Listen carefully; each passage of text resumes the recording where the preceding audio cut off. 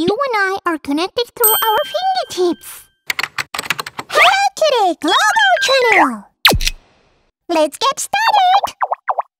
In times like these, when it's hard to meet up with people, you spend a lot of time lounging on the couch and looking at social media.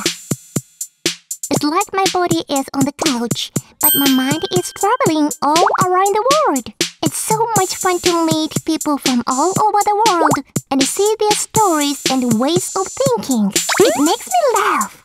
It moves me. It encourages me. And it makes me think. And you know, sometimes I find a post that I want to show to my friends. so I share the post.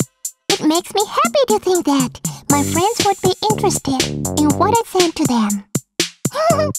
If my friends share what I shared with them, then it will reach their friends' friends. And then their friends' friends, friends, friends, friends. Well, connecting with others on social media, like a circle of friends, is so exciting. hmm. So, that's why I want to be careful with each and everything I share.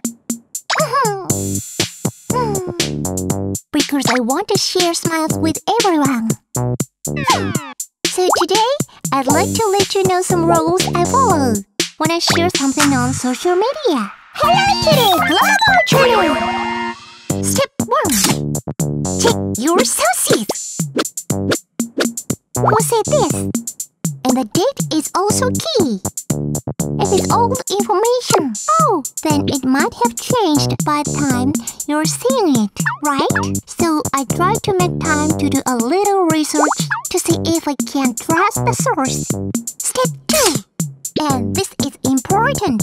Before I share, I pause for a second and think carefully. Uh-huh. Am I calm right now?